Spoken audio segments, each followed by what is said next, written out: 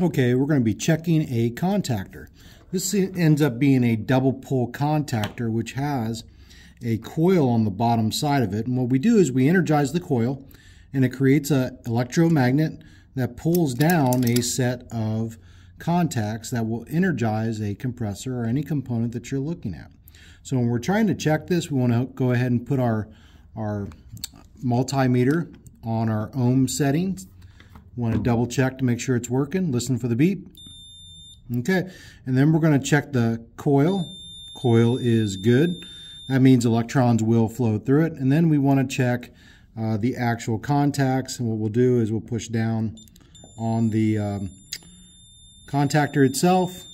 That side seems to be okay. Electricity will pass through it. And then this side seems to be okay and electricity will pass through it and that is how you check a contactor for continuity through the coil and also checking the contacts of the contactor.